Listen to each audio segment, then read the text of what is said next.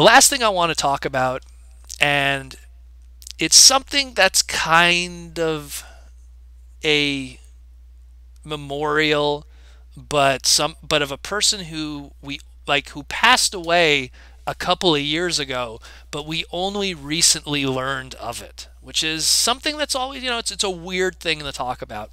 And it's probably a person a lot of the newer fandom doesn't know who he is. Um, but he's someone who really was a staple of the Transformer fandom if you were a fan during those 90s era and going to BotCons during that 90s era. Um, Joe Eibe, uh, we recently found out, passed away in 2012. Now, who is Joe Eibe, really? Like, a lot of people are like, Who, who's Joe Eibe? Uh, Joe Eibe um, was pretty much one of the pioneers of cosplay in the Transformer fandom, if, he, if, if not the pioneer of, of cosplay uh, in the Transformer fandom. Um, Joe was born uh, in December 17th, 1966. You know, he's not not a, a, young cat like a lot of us Transformer fans that were born in the 70s and the 80s. Uh, he was a he was a 60s kid, and he was someone who at a young age um, was big into cosplay and costume stuff. And because he was born in in Willows, uh, California, so he was right there. You know, when he hit his his late teens, early 20s, he was right there at the heart of SDCC when it was first starting up. So, and not to mention just the budding California convention scene to begin with. So he was someone who was right there on the ground floor when cosplay was just starting to become a thing in those early conventions back in the day. And um, Joe was someone that, I mean, I, I could just like go through his list of cosplay and like, you know, he used to hear SDCC, uh, well, even man, it goes really back. But I well, mean, which one was the most famous one you would say? Well, the most famous most one, iconic. The, he for people who might know who he is, even if they might have seen just an image. There's two images of Joe that kind of surface around, and it's kind of like unflattering to him. Joe was a larger man. he was a an, uh, a larger individual, and there's this one photo of him in his Optimus Prime cosplay, but he doesn't have his helmet on, so it just kind of looks like this because Joe has a very like fat man face. He has a very fat, pronounced chin. And so you have this fat face and this fat head on this Optimus Prime body. And it's like so many people would this this is like that's like the the photo that circulates everywhere of him and people have made fun of it and nah, nah, nah. and the second one that a lot of people know him for is the Metalhawk guy which was and that's what he his name was for the longest time was the Metalhawk guy or the Optimus Prime guy within the fandom was because he had he was like one of the first people to uh, to pretty much cosplay as a Transformer. In BotCon 1997 in Anaheim, he cosplayed as Metalhawk, and it got the attention of like everybody because it's like, wow, who is he cosplaying? Because Metalhawk has these like Optimus Prime kind of colors to him.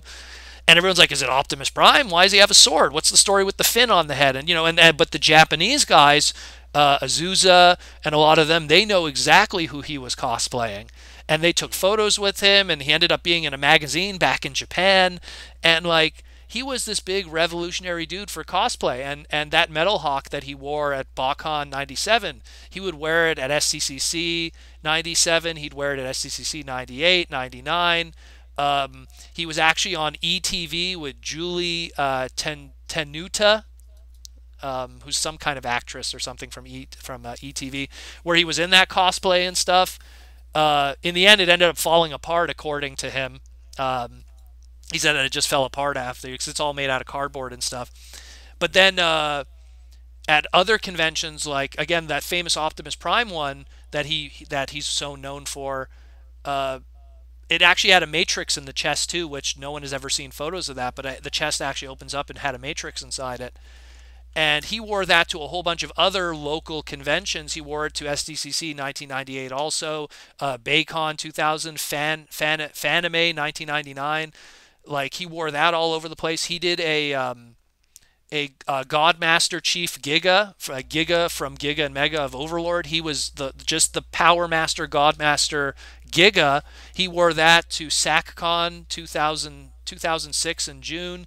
he used to he actually made fan characters and then he would so he had like chronobot which was he was a big doctor who fan so he did the sixth doctor which was i think colin baker as a transformer you know from from the tardis and all that crazy stuff and again, SDCC, he wore that. He did, he did a whole fanfic about it. He was a creative guy. He did a lot of video stuff. He did a lot of fanfic writing. He did a lot of art. He was an artist too. Um, and he was just cosplay across the stream. And again, this guy was revolutionary. I mean, today we look at TFCon, we look at BotCon, and all the great cosplay that we see today you know, with with with the talented people and the easy the ease of, of materials to get today and, and the the huge community and the ease of communication for cosplay ideas and sharing your cosplay with photos. He was doing this with cardboard found at the back of restaurants, you know, duct tape and just his own imagination and a non-existent community forum to to yeah. to be creative. Imagine when he was making that Godmaster stuff, and all he probably was working on was like bad JPEG files and VHSs. You know, jeez, that's true. You know, think about because what did what did he have of of Metalhawk? What's to, what's, what's references? Yeah, you know? because I'm pretty sure he didn't have the Metalhawk toy back then. You know, maybe he did, maybe not, but it's just it's it's it's it's craziness, and you you kind of like dig deeper into stuff. Like he even said that he did a Wreck-Gar that actually transformed, but there's just no photos of it that anyone has. Um, he did a Star Saber one, which was amazing, which actually had the sword and everything. Um, he said that he met Seth Green when before Seth Green was huge and stuff, uh, and they actually have a photo together of him in his Optimus Prime outfit. So it's like you know, again, like Mr. Robot Chicken and uh, Family Guy and everything before he was even parodying Transformers and stuff. He met, you know, he met uh, this dude, you know, and it's just it's it's it's absolutely crazy stuff. Like it's he was he was a revolutionary dude, and it's it's such a shame that so many people don't know who he is. Um, and don't know just how much of an impact he'd made on the transforming cosplay community before it became huge. And he, and it's sad because ultimately in the end, you know, he he only really did cosplay and transformer conventions in the West Coast. And the last time he was ever at a BotCon, which was according to Super Megatron, who's like part of TFCon staff, he's one of the head dudes. Um, according to him, he said the last time he saw Joe was BotCon 2009. I don't even remember Joe from 2009 and beyond all the West Coast BotCons. Like I just remember Joe being, but then you know he kind of fell into obscurity. We never see him ever again. Cosplayers come out of the woodworks now post 2007, um, and then we only find out recently that he passed away November 6, 2012 yeah. you know, in, in, quietly in his home due to health complications, and uh, it was uh, it was pretty much it was, it was you know I, I found it out just because doing research on him because I was going to kind of work on an article with with cosplay stuff and everything, and doing research on him and then finding his obituary, and then doing backward searching from that, and it was you know it's it's a shame, but it was just like, you know it's. It, this guy was was pretty darn cool and it's it's funny because I I read into his history and stuff and because he lived in Cali um, he actually his father knew Tom Hanks's dad. And apparently like Tom Hanks's dad and his dad were good friends. And apparently like he dated his Tom Hanks's aunt at some point his dad.